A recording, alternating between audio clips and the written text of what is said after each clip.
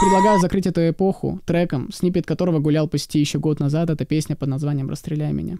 И пускай в сегодняшних реалиях название песни звучит просто ужасно, песня посвящена отношениям и любви к своему делу.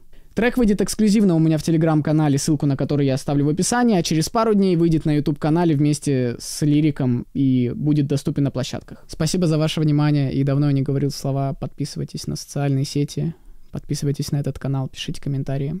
Это важно. Всем пока.